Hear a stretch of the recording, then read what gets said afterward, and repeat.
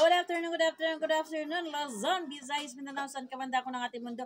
Magandang, magandang hapon po. Nandito na naman po si Kulina Falasyo na nagbibigay po sa inyo ng tutorial video.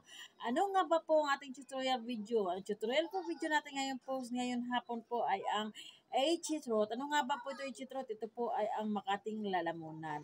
Anong gawin, anong gagawin po natin pag tayo po ay nakakaranas ng ganito? Makati pong lalamunan natin. Ang gagawin po natin pag tayo po nakakaranas ng ganito, makating lalamunan, ay simple lang po. Ang gawin po natin, kumuha po tayo ng isang bagay na makakatulong po sa atin. Yung mga simple, yung mga nakakatulong, yung mga pangmadil, pangmadilian remedyo po sa ating sarili. Ayan. Ganun po. Kasi, syempre, pag sinabi po natin na um, makating lalamunan, ano, ano po pa sa ating utak, nagpagkaroon po tayo doon ng re- ano, allergy, mga allergy sa, sa ating sarili, para hindi po tayo magkaroon ng mga allergy, gamutin po natin mga, syempre, cause of feel abi stretchy, ayan, di ba, mga, ma, tayo ng mga ganyan. Ang gagawin po natin para hindi po, pang madalian lang yung parang hindi, kung hindi po tayo nakakapunta kagad sa doktor, siyempre, pag wala po tayong mga pera, hindi naman po lahat na may pera kagad, di ba? Sa, pamamara, sa pamamagitan po dito, gumawa po tayo ng paraan. Ano nga pang gagawin po natin pag tayo nakakaranas po ng ganito na mga kadilala muna natin? Kunin po, gumawa po tayo ng ganito.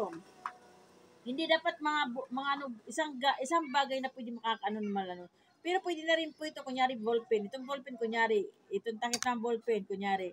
Ito dito, gawin po natin, ha, ito dito, hmm, dito. Mas, ma, masarap po, hagod-hagorin lang nyo lang po ito dito. Parang ano, ganyan-ganyan ninyo po. Ganyan-ganyan ninyo pa lang.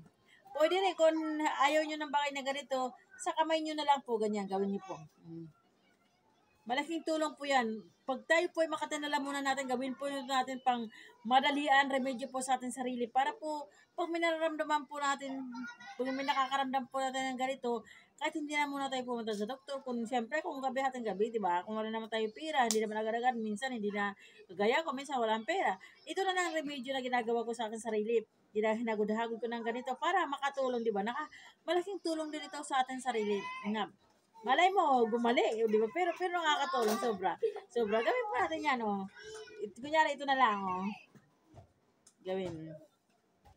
Ito dito, ha. Dandahan lang po. Ganyan-ganyan. Hagod-hagorin lang po natin. Ganon. Sobra. Ayan.